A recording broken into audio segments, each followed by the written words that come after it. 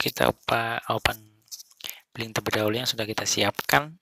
Ini adalah halaman project yang sudah terbuat.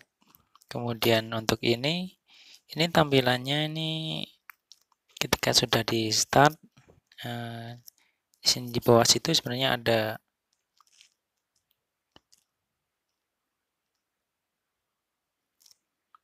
Nah, di bawah situ. Ini ketika di terkena mobilnya dia akan menyala sebagai tanda mobil yang datang duluan.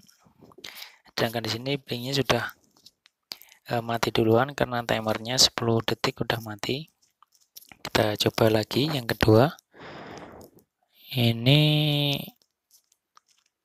jalan ketika sudah di jalan Nah, ini dia monitoring ke blink akan waktunya berjalan terus.